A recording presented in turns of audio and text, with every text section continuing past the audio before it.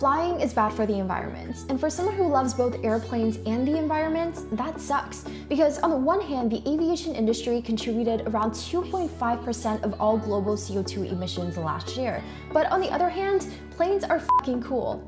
And some of you might say, well, 2.5% doesn't sound too bad. Well, if the aviation sector were a country, it would be among the top 10 countries by CO2 emissions. And just to put it in perspective, a round trip flight between Montreal and London emits just as much carbon as heating a European home for an entire year.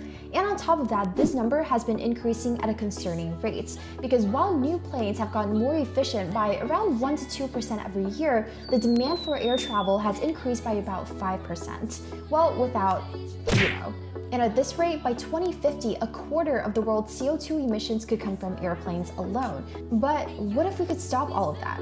With the rise of electric vehicles to reduce the carbon emission of cars, a reasonable next question would be well, could we do the same with planes? And what would that even look like? Should we start building superchargers at the top of tall buildings?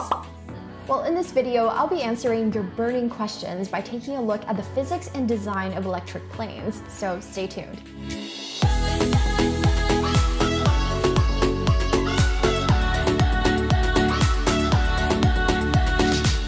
Thanks to Brilliant for sponsoring this video. If you want an interactive way to brush up on your math and science skills like I did for this video, but without a mountain of textbooks involved, then check out the link in the description below. The very first example of using electricity for air propulsion actually appeared in 1883, about 20 years before even the first flight of the Wright brothers, and this was on a modified airship. One of these initial electric airships, called La France, actually flew for 8 kilometers for a speedy 23 minutes, placing her just a hair slower than the 5k running world record for women. And of course, since then, we've explored a lot more creative solutions for more advanced electric aircraft. Some examples include power cables connecting the aircraft to a ground power supply over very low altitudes and short distances, and even microwave-powered planes by using power beaming technology from the ground, essentially nuking the sky using the same principles as wireless charging. But while these ideas are super interesting and seem like they're straight out of a Bond movie, they're not really well researched enough or practical enough for us to really discuss today. And so in this video, we're going to do a deep dive on the two main contenders of providing energy on electric aircraft, and those are solar panels and batteries. Now the inner workings of a solar panel can be a long video in and of itself, but here's a one minute summary. Solar panels consist of thousands of photovoltaic cells that transfer light from the sun into electricity. How does it do this? Well, each photovoltaic cell consists of two layers, a slightly positive layer and a slightly negative layer. And it's not because one has an attitude problem, it's simple chemistry. One layer simply has extra electrons, making it slightly negative, while the other layer has extra holes where it wants to accept electrons, making it slightly positive. Now, as light particles from the sun or photons hit the negative layer, it can sometimes knock an electron electron loose from its bond. Of course, this one free electron wants to travel to the positive layer. But there's one problem. There's an electric field between the two layers that prevent the electrons from simply moving over. But if we connect a wire between two layers, there's now a path of much less resistance for the electrons to move to the other side. And this movement of electrons is electricity. While creating electricity from the sun sounds great in theory, in practice, it's actually not as efficient as you think. For one, only a fraction of wavelengths of light can actually be absorbed, while the rest are reflected or pass through the layers. And these panels also need constant exposure to sunlight, which can be a little difficult in Canadian winters, or the UK in in general. For these reasons, the average solar panel only has an efficiency around 20%. Okay, that was much longer than a minute, but hopefully you have a better context of how solar energy works and what are its limitations. So how does it apply to airplanes? Is it actually feasible? Well, short answer is yes, but is it practical? Not really. For one, the plane needs to be incredibly light in order to minimize the amount of power required to fly it. But you also want the largest possible surface area to place as many solar panels as you can to generate more power. So what you end up with is basically a flying ruler. And a plane with an enormous wingspan and very light and delicate panels means that it's very prone to turbulence and crosswinds. In fact, most models today can't even take off at wind speeds above 10 miles per hour or just slightly breezy. Also, a plane in flight is constantly changing its angle of attack or even flying through clouds, this further diminishes its exposure to sunlight. So for this reason, a lot of models today have batteries attached to the panels to reserve some power for scenarios like this. So let's take a look at one such aircraft as a case study, the Solar Impulse 2. It broke records in 2016 as the very first solar powered aircraft to circumnavigate the globe. With a 72 meter wingspan that's wider than the 747, it only weighs 4,400 pounds, about the weight of an average car, and is capable of staying in the air for up to 36 hours with a crew of one. But most impressive of all is probably its breezy top speed of 70 kilometers an hour.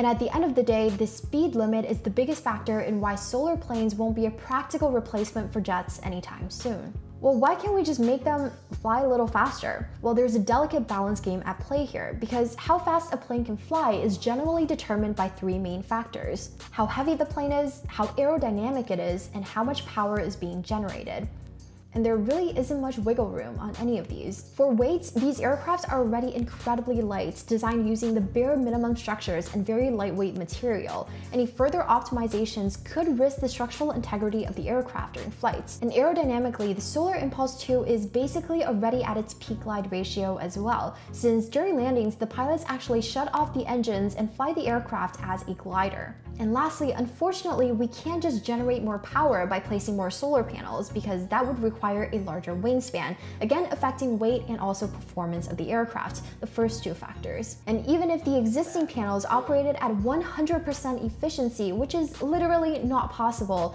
then the Solar Impulse 2 would still have a top speed of around 250 kilometers an hour, not much faster than a Cessna. So to summarize, there are a lot of great things about solar aircrafts like the Solar Impulse 2. For example, it did a great job at raising awareness of sustainability in aviation. Specifically, solar aircraft can spend days in the air without refueling and traveling over an impressive range. They're quiet, essentially 100% clean with very low operating costs. But on the other hand, solar aircrafts can be very fragile and depend on the conditions of the day. They're too slow and have too little payload to be used for commercial flights. But this doesn't mean mean that all hope is lost because there are niches where they could potentially work. For example, they're a great alternative to aerial photography planes that need to fly low and slow to begin with. So what about making this power source a little bit more powerful? What if we replace them with batteries instead? Now, batteries are no stranger to our daily lives, so is it possible to build a mega-sized version to power our planes and essentially recharge them at airports, similar to the way we get home and charge our phones and our laptops? Well, the first issue is actually certification. Now, you may be glad to hear that it generally takes years for the FAA to certify any new aircraft, especially electric ones, making sure that every inch of them is safe. And because of this, some companies have gotten creative by retrofitting old existing planes to speed up that certification process. That is, replacing the old gas engines and fuel tanks with new electric batteries and motors. And for the most part, this seems like a great idea. For example, in Vancouver, an electric motor manufacturer called magniX teamed up with a local airline called Harbour Air to fly a retrofitted electric Cessna back in 2019. Now, this became the very first fully electric commercial flight. Now, this 30 minute flight costs just $6 in comparison to the $400 it would cost with traditional fuel. But it's not time to celebrate yet, because while this may work for a six passenger flight between Vancouver and Seattle, it doesn't really scale much beyond that. And the biggest bottleneck here is weight, because the best lithium ion batteries today have a specific energy of around 300 watt hours per kilogram, while the specific energy of traditional jet fuel is around 12,000 watt hours per kilogram. What this means is that one kilogram of jet fuel can provide 40 times more energy than a battery can. And on top of that, the amount of jet fuel decreases throughout flights, making the traditional jet lighter and lighter as it flies, but batteries remain the same weight regardless of how much charge is left.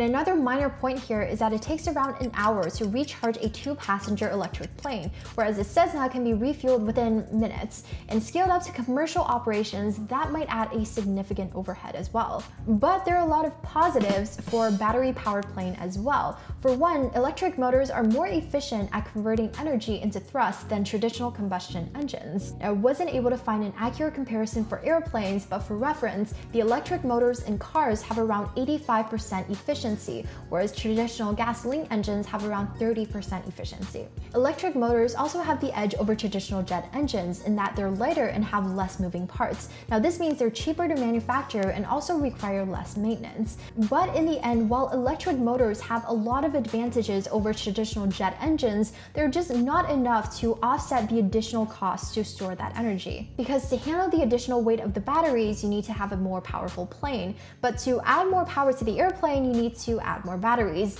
and on and on and on. In a report on the impact of electric propulsion, Dr. Andreas Schäfer suggested that only on electric batteries, an Airbus A380 could only fly a range of around 1,000 kilometers, compared to its typical range of 15,000 kilometers.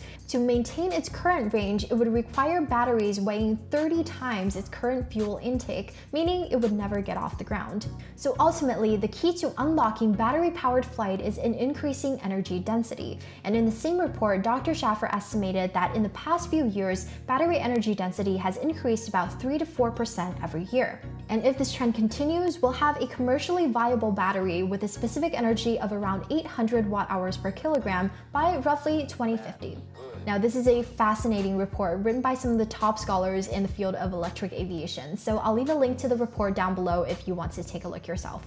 Now, I know all of these numbers and concepts sound extremely daunting, and that's exactly how I felt when I was researching this video, but a great resource that I used was Brilliance. It's an online platform for learning topics in math, science, and engineering. And before I filmed this video, I took their course on classical mechanics and realized just how much I had forgotten from university. But I found their content really engaging with examples of just how these theories apply in real life and interactive quizzes to make sure that I'm really absorbing the material. And if you want to learn more about the theory behind sustainable energy, they even have a course on solar energy, which I'm working through now. To learn more about Brilliance, go to brilliant.org forward slash Jenny Ma and you can try it out completely free.